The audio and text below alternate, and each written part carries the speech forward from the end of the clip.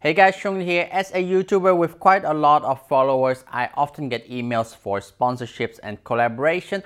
However, nowadays uh, there's also quite a lot of scamming going on and this weekend I've gotten an email that was quite noticeable a scam and I also did some replies through them and see what uh, would be going on. And basically the big red flag was already a email in the weekend because proper company would actually email you throughout the weekdays from Monday to Friday and weekends getting an email from a company is quite odd because most companies wouldn't even work through the weekends.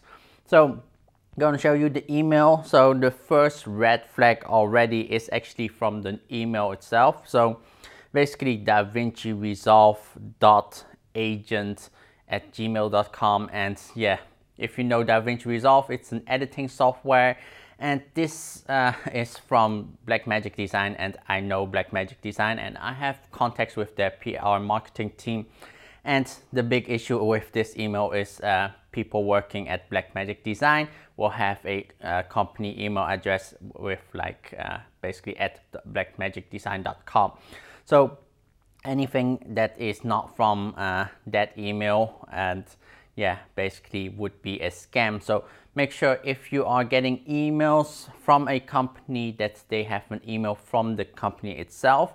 However, of course, there might be startup companies that wouldn't have those emails, but yeah, you can kind of easily see if it's a startup Kickstarter company or if it's a real big company like uh, Blackmagic Design. They would have, of course, their own email, even uh, like Chinese companies like Zhiyun and uh, a lot of other brands that I've worked with, they would have even their own company emails and not be working with a um, yeah free email service. So now reading further, so basically it's already starting from the email. So hello dear YouTuber. So this is just an automated or like a pre-scripted email that they just copy and paste instead even like writing your actual name.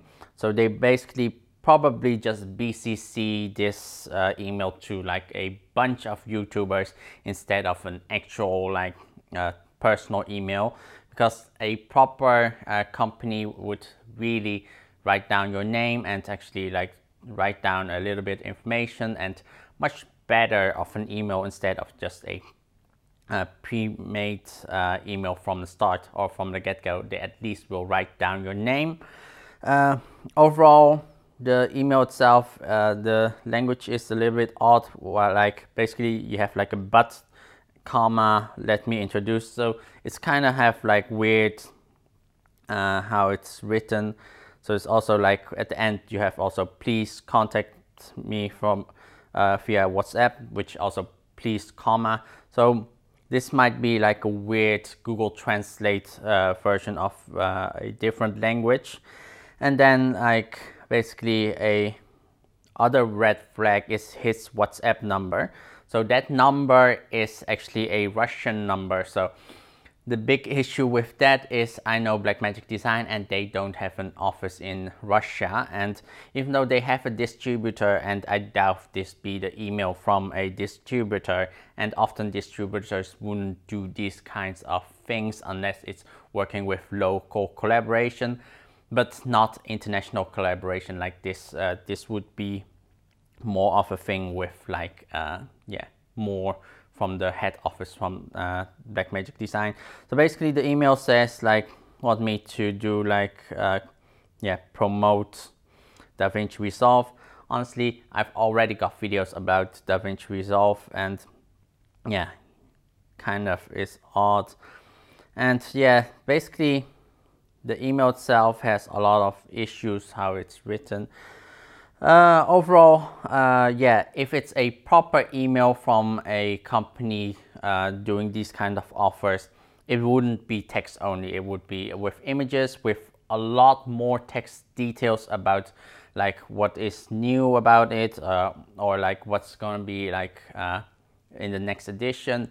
Especially uh, often we'll have like a whole email of like the new product even uh, show me the exactly like the whole new product information with like talking about the product uh, or even showing the image of the new product and uh, yeah what's new about it sometimes uh, they would talk a little bit about it and then ask me to sign a NDA or uh, sign something that I wouldn't announce the information uh, ahead of time before they actually give me the information.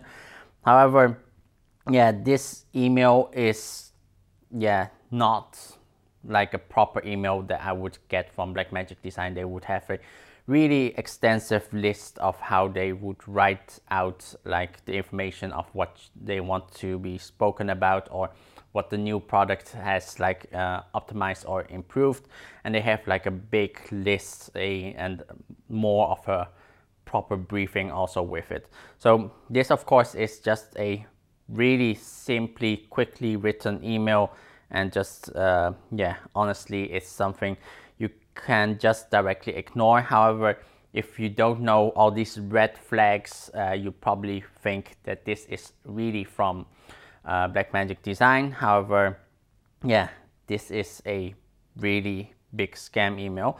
So probably because it's from Russia, it's from a uh, hacker or somebody who's trying to get your details from like uh, your kind of like your payment details and then try to hack into your account and get money from your bank or from your PayPal accounts or other kind of payment accounts. So these things you do really need to look out for that you don't give your information away too quickly. Um, just make sure you're talking to the real person. So with this, uh, yeah, I've also emailed Blackmagic Design asking if they know a Noah Moore and also the email address and also Blackmagic Design just, uh, yeah, I have the proper contact of their PR and they replied back that, uh, yeah, this person is not from their PR team and yeah, basically should ignore this. So uh, instead of actually ignoring this email, I want to see a little bit further what go is going on. So asking a little bit further, um, also what's it's kind they try to kind of sound like they're um, a proper company or properly accepting like my price offer, and then like uh, yeah, saying that I would able to get promo codes for the viewers. However, people can can download DaVinci Resolve for free. So why would they need a promo code? Of course, also maybe promo code for getting the full version, uh, but it's not really that expensive. So, and honestly, most people I would promote to would be able to use just the free version and really uh, not on purposely had to go for the promo code for the full version. And the yeah second uh, basically the other red flag is how he ends the email with.